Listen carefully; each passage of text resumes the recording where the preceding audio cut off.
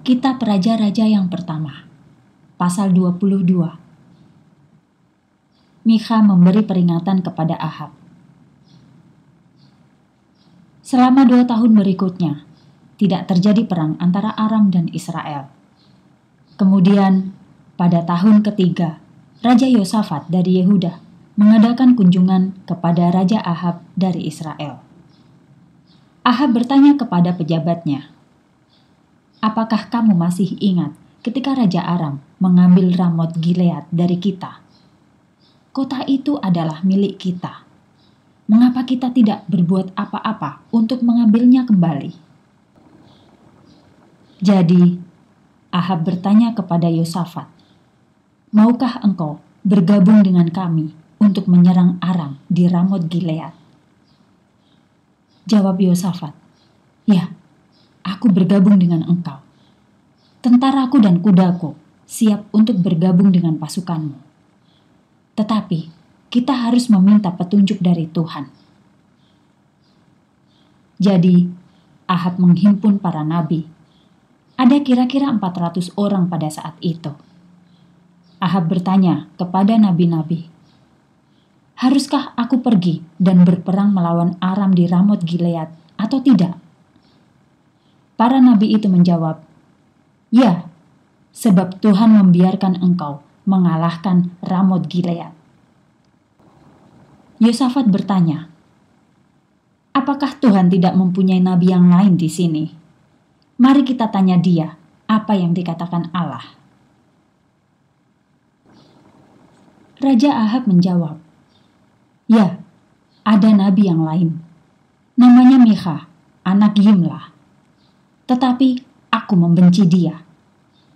Apabila dia berbicara demi Tuhan, dia tidak pernah mengatakan sesuatu yang baik kepadaku.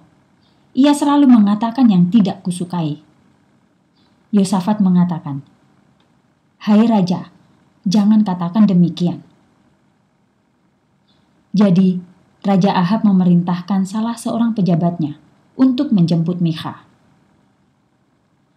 Saat itu, Raja Yehuda dan Raja Israel memakai pakaian kebesaran.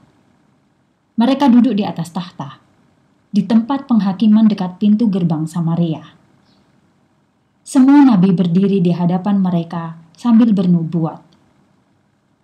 Seorang di antara para nabi itu bernama Zedekia, anak Kenaana. Zedekia membuat beberapa tanduk besi. Kemudian dia berkata kepada Ahab, Tuhan mengatakan, "Dengan alat ini engkau akan mengalahkan pasukan Aram sampai mereka binasa semuanya." Semua nabi yang lain setuju dengan perkataan Zedekia. Nabi itu mengatakan, "Pasukanmu harus maju sekarang." Mereka menyerang pasukan Aram di Ramot. Kamu akan menang. Tuhan mengizinkan kamu mengalahkan mereka. Ketika hal itu terjadi, pejabat pergi menjemput Mikha.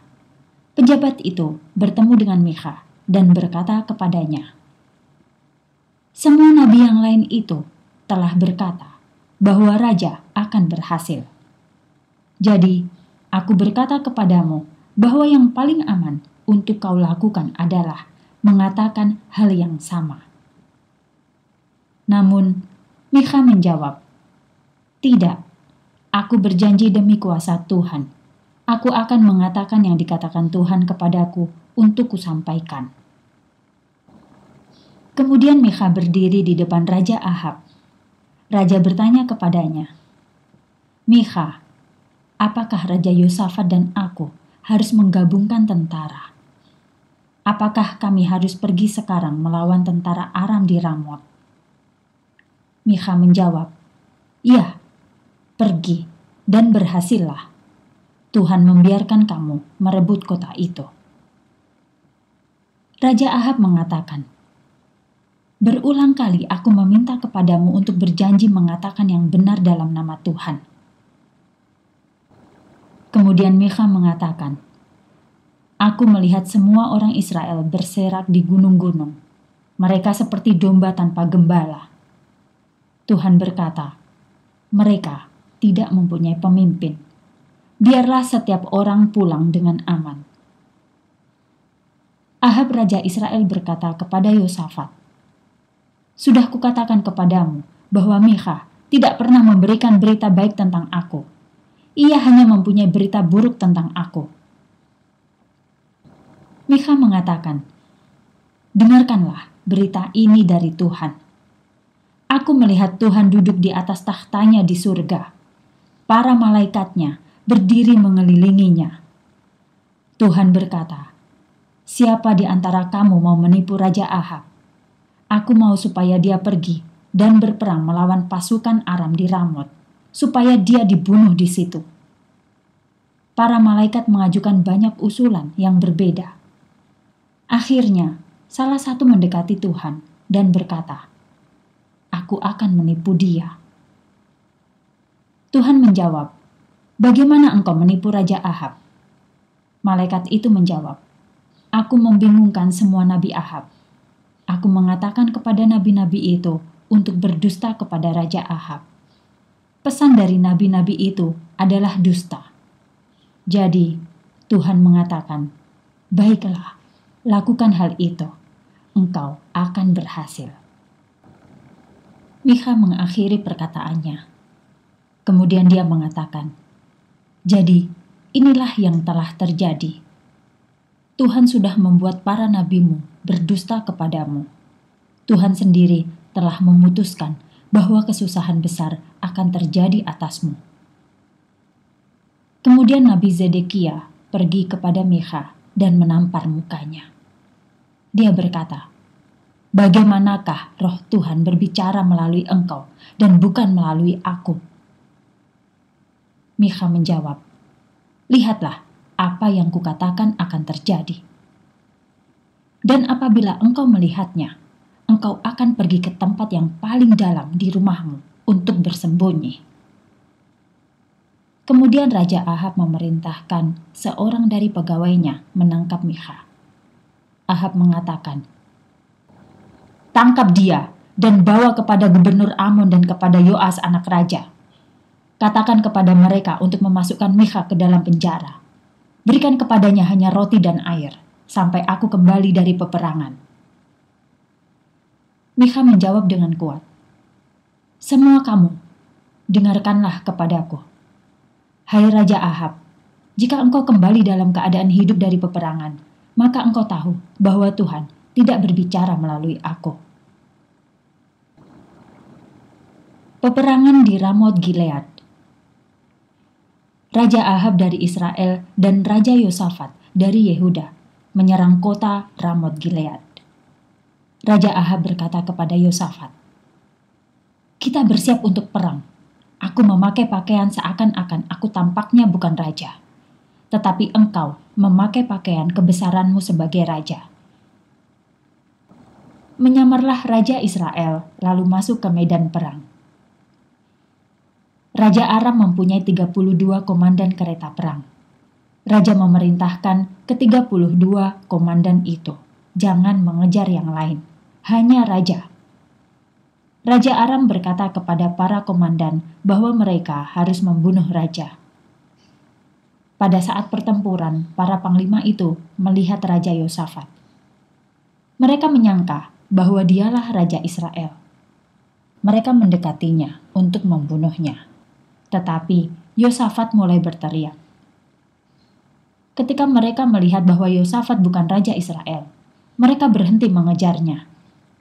Tentara menembakkan panah dari busurnya tanpa arah yang jelas.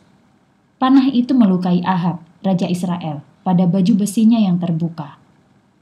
Ahab berkata kepada pengendara kereta perangnya, "Berputarlah dan bawa aku keluar dari peperangan ini. Aku terluka." Pada hari itu, perang semakin hebat.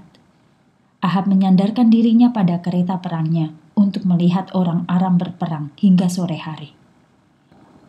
Darah dari lukanya terus mengalir dan menutupi lantai keretanya, dan pada petang harinya, dia meninggal.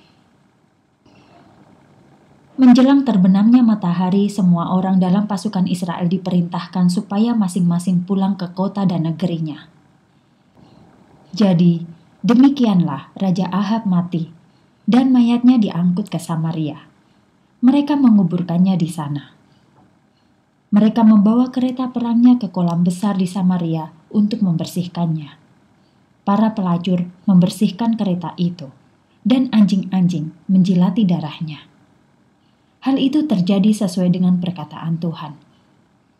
Hal-hal tentang riwayat Raja Ahab selama pemerintahannya tertulis dalam sejarah raja-raja Israel. Kitab itu juga menceritakan tentang gading yang dipakai raja untuk membuat istananya semakin indah, dan tentang kota yang dibangunnya. Ahab mati dan dikubur bersama nenek moyangnya. Ahazia, anaknya, menggantikan kedudukannya sebagai raja. Yosafat, Raja Yehuda Yosafat anak Asa menjadi Raja Yehuda pada tahun keempat pemerintahan Ahab, Raja Israel. Yosafat menjadi raja pada usia 35 tahun dan memerintah di Yerusalem selama 25 tahun. Nama ibunya Azubah, anak Silhi. Hidupnya serupa dengan ayahnya. Dia baik, dia berbuat hal-hal yang benar di hadapan Tuhan. Tetapi ia tidak membinasakan tempat-tempat yang tinggi orang terus memberikan persembahan dan membakar kemenyan di sana. Yosafat juga hidup berdamai dengan Raja Israel. Yosafat sangat berani dan banyak melakukan perang. Segala sesuatu tentang yang dilakukannya tertulis dalam sejarah Raja-Raja Yehuda. Yosafat memaksa semua laki-laki dan perempuan yang menjual dirinya untuk pelacuran meninggalkan tempat peribadatan. Mereka telah beribadah di sana selama pemerintahan ayahnya, Asa. Pada waktu itu, tidak ada raja di Edom. Daerah itu diperintah oleh seorang gubernur. Gubernur dipilih oleh Raja Yehuda. Kapal Yosafat Raja Yosafat membuat kapal-kapal barang dengan maksud untuk berlayar ke Ofir mengambil emas. Namun, kapal-kapal itu tidak pernah sampai ke sana karena rusak di pelabuhan Ezion Geber.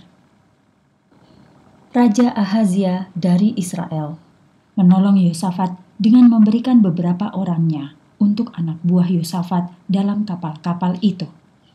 Namun, tawaran Ahazia itu ditolaknya. Yosafat mati dan dikubur bersama nenek moyangnya di kota Daud. Kemudian anaknya, Yoram, menjadi raja.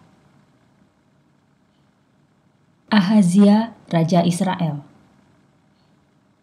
Ahazia, anak Ahab, menjadi Raja Israel pada tahun ke-17 pemerintahan Raja Yosafat di Yehuda. Dia memerintah di Samaria selama dua tahun.